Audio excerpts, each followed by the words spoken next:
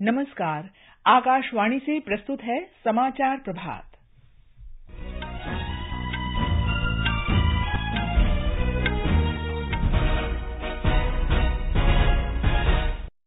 भारत में इस वर्ष अप्रैल में सर्वाधिक एक लाख सत्तासी हज़ार करोड़ रुपये से अधिक का वस्तु और सेवा कर संग्रह हुआ। प्रधानमंत्री नरेंद्र मोदी ने कहा यह भारतीय अर्थव्यवस्था के लिए बड़ी उपलब्धि है। भाजपा के वरिष्ठ नेता और प्रधानमंत्री नरेंद्र मोदी कर्नाटक में विधानसभा चुनाव के लिए रोड शो और जनसभाएँ करेंगे। कांग्रेस पार्टी आज अपना घोषणा पत्र जारी करेगी। भारत आज मालदीव को तीव्र गति का एक गश्ती पोत और एक जलयान सौंपेगा।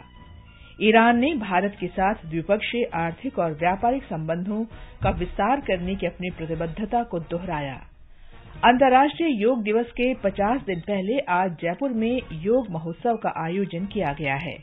और लखनऊ में, आईपीएल क्रिकेट में रॉयल चैलेंजर्स बैंगलोर ने लखनऊ सुपर जायंट्स को 18 रन से हराया।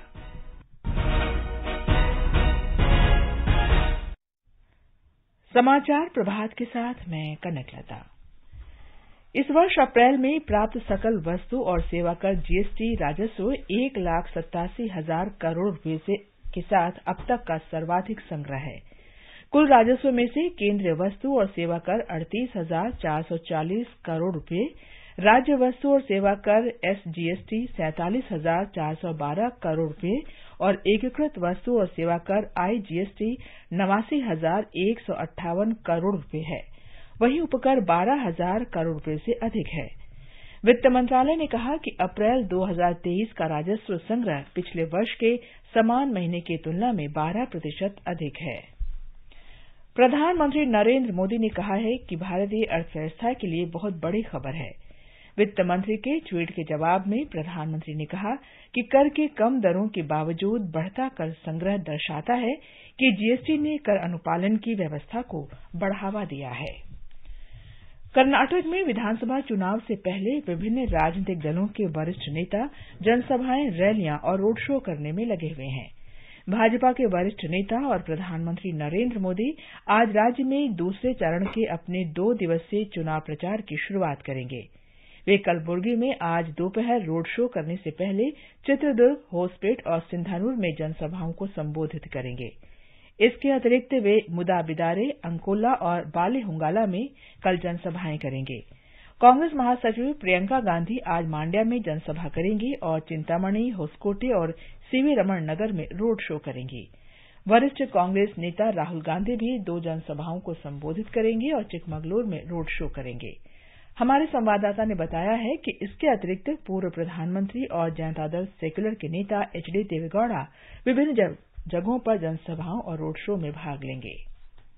2024 के संसदीय चुनाव होने में अभी भी कुछ महीने बाकी हैं। राजनीतिक पर्यवेक्षकों का कहना है कि कर्नाटक के चुनावी परिणाम राजस्थान, छत्तीसगढ़ और मध्य प्रदेश में इस वर्ष के अंत में होने वाले विधानसभा चुनावों पर असर डालेगा। भाजपा मतदाताओं को अपने पक्ष में करने के लिए केंद्रीय और राज्य की कल्याणकारी योजनाओं से लाभ मिलने की आशा कर रही है। कांग्रेस, ग्रामीण, कर्नाटक में गरीबी और युवा मतदाताओं की बेरोजगारी के मुद्दे मुद्दे उठा रही है। इस बीच कांग्रेस नेता डीके शिव कुमार ने कहा कि उनकी पार्टी आज घोषणा पत्र जारी करेगी। इस घोषणा पत्र में कांग्रेस कर्नाटक के लोगों के लिए पाँच वायदों को कार्यान्वित करेगी। बेंगलुरु से एस एन पटनायक की रिपोर्ट के साथ समाचार कक्ष से मनोज। निर्वाचन आयोग ने कल मुख्य चुनाव आयुक्त राजीव कुमार के नेतृत्व में कर्नाटक के वरिष्ठ अधिकारियों और निर्वाचन अधिकारियों के साथ एक वीडियो कॉन्फ्रेंस की। उन्होंने 10 मई को होने वाले विधानसभा चुनावों की तैयारी और कानून व्यवस्था समन्वय की समीक्षा की। मुख्य चुनाव आयुक्त ने राज्य की सीमाओं पर चौकसी बढ़ाने के निर्देश जारी किए। ईरान और भारत ने द्विपक्षीय आर्थिक और व्यापारिक संबंधों के विस्तार की अपनी प्रतिबद्धता को दोहराया है। ईरान के राष्ट्रपति इब्राहिम रईसी ने कल तेहरान में भारतीय राष्ट्रीय सुरक्षा सलाहकार अजित डोभाल से मुलाकात की। ईरान के राष्ट्रपति ने विश्व की बदलती परिस्थितियों और एक नई विश्व व्यवस्था के उभरने पर ज़ोर देते हुए कहा कि शंघाई और ब्रिक्स जैसे क्षेत्रीय और अंतर्राष्ट्रीय संगठन अपनी महत्वपूर्ण शक्ति और संसाधनों से अधिक प्रभावी भूमिका निभा सकते हैं। एक रिपोर्ट। राष्ट्रपति रईसी ने कहा कि ईरान और भारत के बीच द्विपक्षीय सहयोग को मज़बूत करने से अफ़गानिस्तान सहित क्षेत्रीय मुद्दों को हल करने पर रचनात्मक प्रभाव पड़ सकता है। उन्होंने द्विपक्षीय सहयोग बढ़ाकर नई विश्व व्यवस्था को आकार देने की दोनों देशों की क्षमता पर भी प्रकाश डाला। श्री डोभाल ने विश्व में हो रहे बड़े बदलावों और नई उभरती प्रौद्योगिकियों के कारण विभिन्न देशों की अर्थव्यवस्थाओं के बढ़ते आपसी संबंधों का उल्लेख किया। भारत का मानना है कि अपने पड़ोसियों, विशेष रूप से ईरान के साथ संबंधों को गहरा और विस्तृत करना अर्थव्यवस्था पर सकारात्मक प्रभाव डालने के लिए महत्वपूर्ण है। दुबई से विनोद कुमार की रिपोर्ट के साथ समाचार कक्ष से लता बिंदु। वित्त मंत्री निर्मला सीतारामन आज दक्षिण कोरिया में एशियाई विकास बैंक के निदेशक मंडल की छप्पनवीं वार्षिक आम सभा में भाग लेंगी। श्रीमती सीतारामन के साथ एक प्रतिनिधिमंडल भी दक्षिण कोरिया गया है, जिसमें वित्त मंत्रालय के आर्थिक मामलों के विभाग के अधिकारी शामिल हैं। एक रिपोर्ट। बैठक में एशियाई विकास बैंक के सदस्य, पर्यवेक्षक, गैर सरकारी और सिविल सोसाइटी के संगठनों के प्रतिनिधि, वित्तीय संस्थाओं और बैंकों तथा निजी क्षेत्रों की कंपनियों के प्रतिनिधि भी भाग लेंगे। अपनी चार दिनों की यात्रा में श्रीमती सीतारामन कई बैठकों में भाग लेंगी। वे एशियाई विकास बैंक के प्रशासकों की संगोष्ठी में एशियाई देशों को एक साथ लाने के लिए सहायता से जुड़ी नीतियों पर अपने विचार रखेंगी। हिंदी समाचार कक्ष से अनुजा कुमार। ये समाचार आकाशवाणी से प्रसारित किए जा रहे हैं। समाचार प्रभात में आपका फिर स्वागत है। रक्षा मंत्री राजनाथ सिंह आज एक औपचारिक समारोह में मालदीव तटरक्षक बल को तेज गति का एक गश्ती पोत और एक जलयान सौंपेंगे। श्री सिंह मालदीव के राष्ट्रपति इब्राहिम मोहम्मद सालेह से भी भेंट करेंगे। एक रिपोर्ट। रक्षा मंत्री श्री राजनाथ सिंह की यात्रा दोनों देशों के बीच दोस्ती के मज़बूत बंधन के निर्माण में महत्वपूर्ण है। उनका आज राष्ट्रपति इब्राहिम सोलेह से मिलने का कार्यक्रम है। मैत्रीपूर्ण देशों और क्षेत्र में भागीदारों की क्षमता निर्माण के लिए भारत की प्रतिबद्धता के अनुरूप श्री राजनाथ सिंह मालदीव राष्ट्रीय रक्षा बलों को एक फास्ट पेट्रोल वेसल और एक लैंडिंग क्राफ्ट उपहार में देंगे। वह देश में चल रहे परियोजना स्थलों का भी दौरा करेंगे और प्रवासी भारतीयों से बातचीत करेंगे। उन्होंने कल मालदीव की अपनी समकक्ष मारिया दीदी के साथ बैठक की थी। चर्चाओं में भारत और मालदीव के बीच रक्षा साझेदारी को और बढ़ाने सहित कई विषयों पर विचारों का आदान प्रदान शामिल था। श्री राजनाथ सिंह ने विदेश मंत्री अब्दुल्ला शाहिद से भी मुलाकात की और भारत मालदीव साझेदारी में विदेश मंत्रालय की भूमिका की सराहना की। रक्षा मंत्री ने साझेदारी के एक महत्वपूर्ण स्तंभ के रूप में विकास सहयोग की सराहना की और विकासात्मक पहलों का समर्थन करने के लिए भारत की निरंतर प्रतिबद्धता से अवगत कराया। आकाशवाणी समाचार के लिए कोलंबो से मैं अहमद मोइन फारूकी। राजस्थान में अंतर्राष्ट्रीय योग दिवस के 50 दिन पूर्व जयपुर के श्री भवानी निकेतन कॉलेज में एक भव्य योग कार्यक्रम आयोजित किया गया है। इस योग कार्यक्रम का आयोजन मोरारजी देसाई राष्ट्रीय योग संस्थान ने किया। इस कार्यक्रम को आयोजित करने में राष्ट्रीय आयुर्वेद संस्थान, राजस्थान सरकार, स्थानीय अधिकारियों और कई संस्थानों ने सहयोग किया है। कार्यक्रम को संबोधित करते हुए राजस्थान के राज्यपाल कलराज मिश्र ने कहा कि भारतीय संस्कृति का मूल आधार योग है। ब्यौरा हमारे संवाददाता से। आज जयपुर में सूर्योदय के साथ ही पंद्रह हज़ार से अधिक लोगों ने एक साथ योगाभ्यास कर जीवन में योग को अपनाने का संदेश दिया है। इस कार्यक्रम में राष्ट्रीय आयुर्वेद संस्थान, केंद्रीय रिज़र्व पुलिस बल समेत शहर के कई योग और सामाजिक संस्थाओं के सदस्यों ने भाग लिया। यह कार्यक्रम 21 जून को आयोजित होने वाले अंतर्राष्ट्रीय योग दिवस के 50 दिन शेष रहने के उपलक्ष्य में आयोजित किया गया। अंतर्राष्ट्रीय योग दिवस का सौ दिन का काउंट डाउन दिल्ली की ताल कटोरा स्टेडियम में आयोजित हुए कार्यक्रम से शुरू हुआ था। पचहत्तर दिन शेष रहने के अवसर पर असम के डिब्रूगढ़ में सामूहिक योगाभ्यास का कार्यक्रम आयोजित हुआ था। जितेंद्र द्विवेदी, आकाशवाणी समाचार, जयपुर। केंद्रीय आयुष मंत्री सर्बानंद सोनोवाल ने कहा कि जीवन को सफल बनाने के लिए हमें योग को अपनाना चाहिए। अंतर्राष्ट्रीय योग दिवस हर साल हमारे परम आदरणीय प्रधानमंत्री जी के नेतृत्व में हम बड़े निष्ठापूर्वक मनाते हैं। सिर्फ़ देश के अंदर नहीं, दुनिया में भी आज युग को जिस हिसाब से लोगों ने अपनाया है, ये बड़े हमारे लिए उत्साहजनक बात है।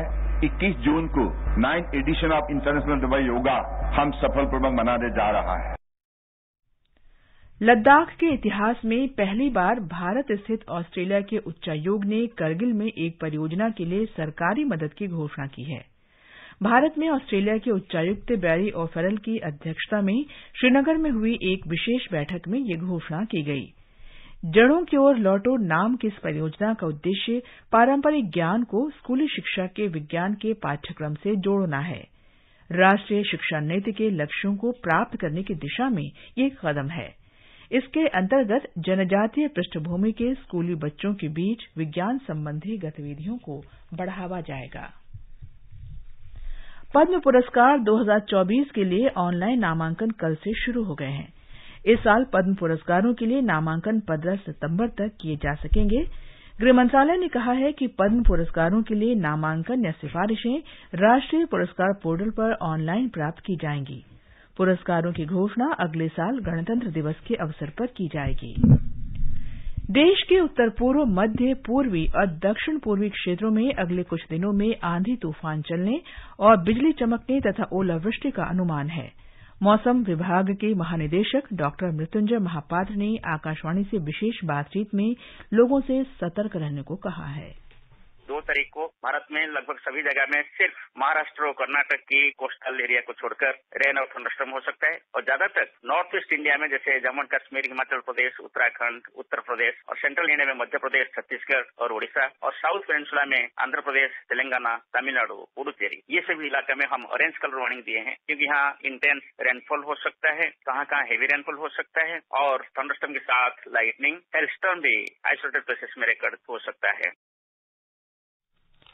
आईपीएल क्रिकेट में आज अहमदाबाद में गुजरात टाइटंस का सामना दिल्ली कैपिटल्स से होगा। ये मैच शाम साढ़े सात बजे से खेला जाएगा।